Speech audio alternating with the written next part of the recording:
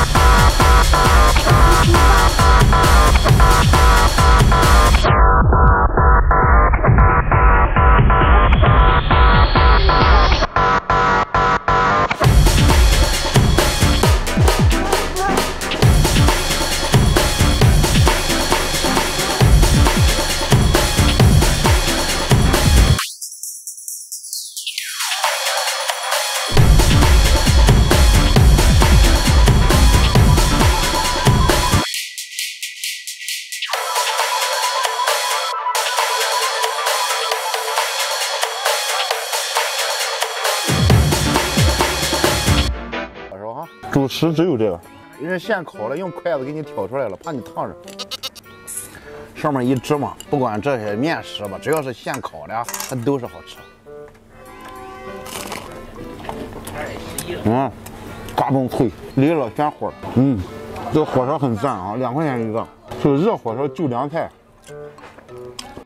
得劲儿，相得益彰。有钱吧。就不愿吃这种火烧。我说实话，我看他们在桌上吃，其实我刚才点的时候挺抗拒的。但他们每桌也都点，因为以前吃这些火烧吧都是凉的，它稍微有点有点硬。那他这个刚做的这个火烧，一点不夸张，你空手都能吃俩。我今天点的唯一一道热菜。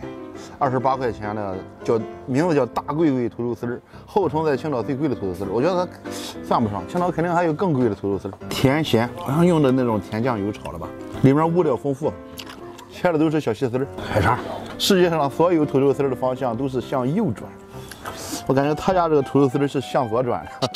但这个菜就这个价格来说，我给他打个打个满分。这土豆丝儿这劲儿的啊，嗯，主要是二十八花了。不冤枉，他家是一个饭馆。什么叫饭馆？就是人一吃饭就想起来了饭馆。居民区深处，所有的特征都具备了。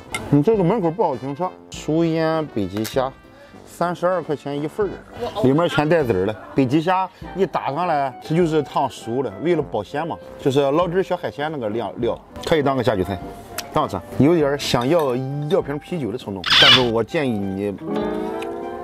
中午这面挺忙的啊，你在这吆五喝六喝开啤酒了，就不大协调。